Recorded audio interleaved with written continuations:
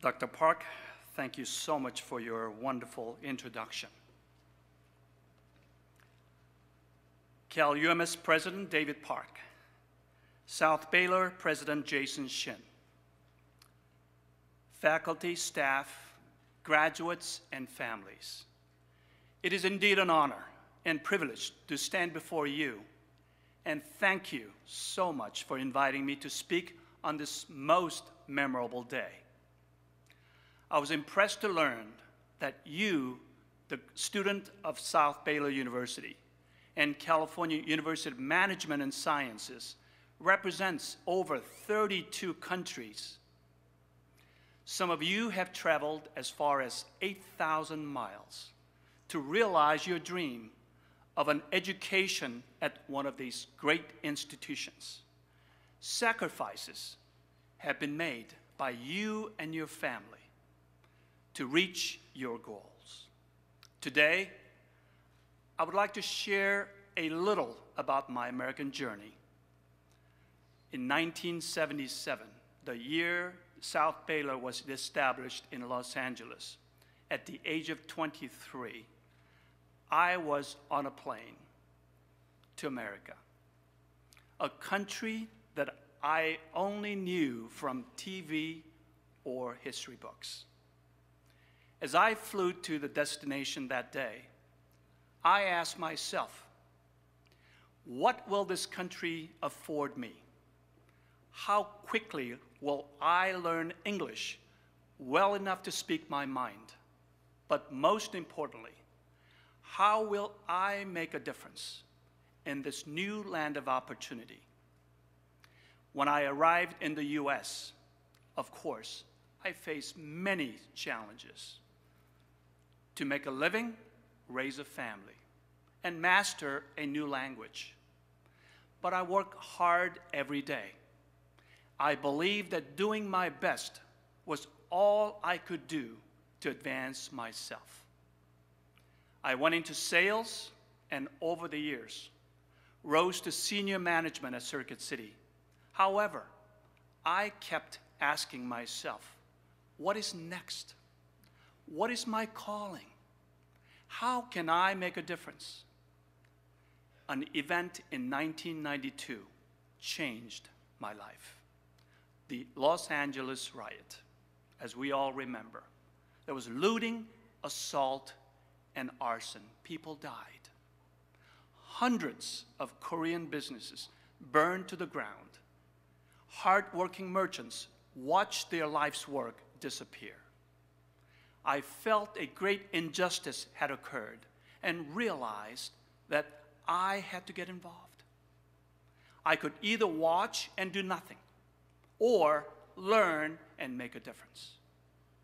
The events of 1992 led me to my passion to build coalitions, friendships, to bridge gaps and create trust, and to focus on the strength that diversity holds if we work together, not apart. I became deeply involved politically and in community service. My calling was clear build foundations to strengthen people and community while breaking down walls of misunderstanding. So I ran for city council and won the seat in November 2004, where my vote could make a difference. In November 2008, I ran for mayor, and I became the first Korean American mayor in a major US city. And I'm proud of the fact that Irvine was recognized as the safest big city in the United States for eight straight years throughout my tenure as city council member and mayor. But coming to America many years ago, I never dreamed of holding a public office. Through life experiences, I found my calling. My challenge to you is to find your calling. If, thank you.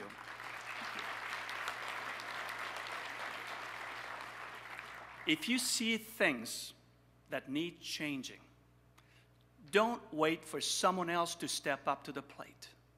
Roll up your sleeves and do the hard work necessary to address the challenges in your community, the, our country, and of course, our world. So make a difference. Looking out at all of you, I see diversity. Diversity of cultures, strength, and talents. Diversity will define our future uh, generation of leaders. The richly diverse learning environment you have experienced over the past couple of years will help you define you as you embark on a new journey of, of your next phase of life. So you are indeed educated. Now be proactive as you realize your aspirations, listen to others, and set your goals.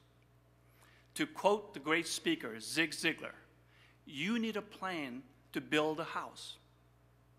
To build a life, it is even more important to have a plan or a vision. The publication, Personal Excellence, outlines profound reasons for setting goals. One, they provide clarity on your end vision. Two, they drive you forward.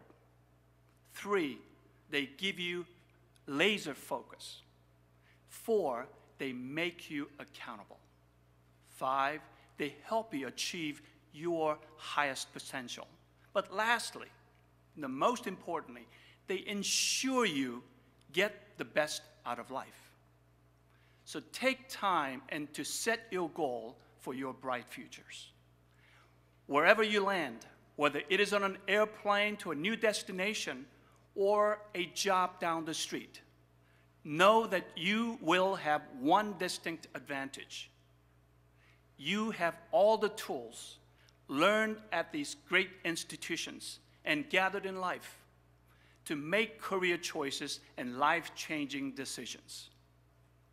Accomplish the extraordinary, whether it is in business, medicine, politics, education, or any field you pursue. Robert F. Kennedy once said, The purpose of life is to contribute in some way to making things better. So I challenge you this morning, as the next generation of leaders, to make a difference in this world. Make your sacrifices to get here more meaningful. Capitalize on the diverse learning environment you have had the pledge, pleasure to experience. But find your passion and take action. Go forward and get the best out of your life. Thank you so much and congratulations.